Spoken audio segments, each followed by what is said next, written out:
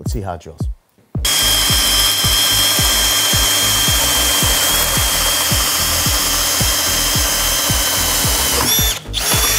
Speed two.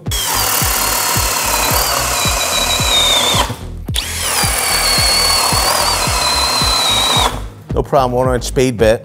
Some of you will be using this to drill larger diameter holes for roughing.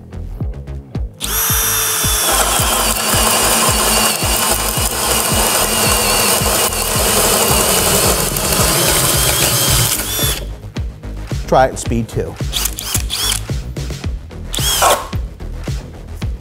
Fair enough. A lot of you say things like, I use my drill driver to drill.